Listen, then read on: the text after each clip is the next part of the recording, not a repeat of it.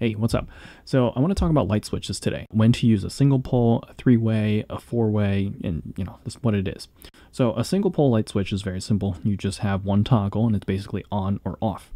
Um, a three-way light switch is a single pole double throw. So basically there's like two points that it can be attached to. And then whatever you turn on at the other end dictates which one is the hot one. So it's like if they're both up or if they're both down, then they'll be on. But if they're in opposite directions, then the lights will stay off.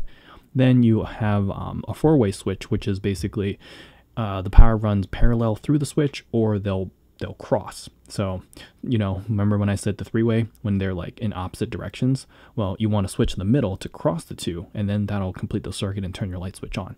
So, I have a floor plan here that looks like somebody just put in all single pole switches, and I'm going to go through and kind of say, um, explain to you where and what, what kind of switch to use in what location. All right, so if we just want to look at this, um, this is a, a, layout of an electrical room with some industrial pendant fixtures. And simply enough, um, say this life safety room, we have two doors and there's two switches. So uh, if there was only one door, you would just have a single pole switch and that'll be the end of your story.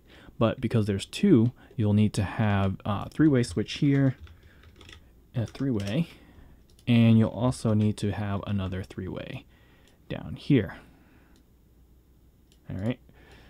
So that way, uh, it doesn't matter which door you come in through, they'll both uh, have an active switch nearby that you can turn the lights on or off. Then out here becomes a little bit more interesting because you actually have four different doors. And um, ideally, you probably would want to switch by every door, uh, at least two of them, right? So you like this one's the interior access door and this one's the exterior access. So at least these two. But um, I don't really see a reason why these two would need a switch. But for the sake of you know, showing my purpose, let's have a third switch over here. So in this case, if you have three locations that need a switch, two of them need to be three-way switches, and one needs to be a four-way. Uh, let's say I let's say I want to put a, a, switch over here too. So this would actually also be a four-way. So it'd be a four-way here. We'll say um, four-way up here, and then this will be three-way, and this would be three-way down here. Oop, three-way.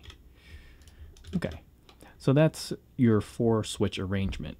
Um, I don't know. Like I said, you, you can't really get into here without having lights on in the first place, but eh, maybe we'll leave it because uh, what, what's let's say like somebody's in here, you go into the life safety room, you're doing something, and then someone out here doesn't realize that they're in here. They shut the lights off out here. So if you come out of here and it's dark, yeah, I guess it would be nice to have a switch here. So, you know what? Uh, I'll leave it.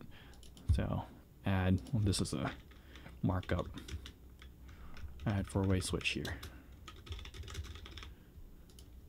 Okay, and there you go. So that's kind of how you would lay out uh, three-way and four-way switches. Um, if you had just a single, let's say this is one room down here. If this was the only access door to it, then it would just be a regular switch, a single pole switch. So, okay, well, anyway, that's my rambly bambly for the day. Um, if you have any questions, put them in the comments, and I'll talk to you guys later. See ya.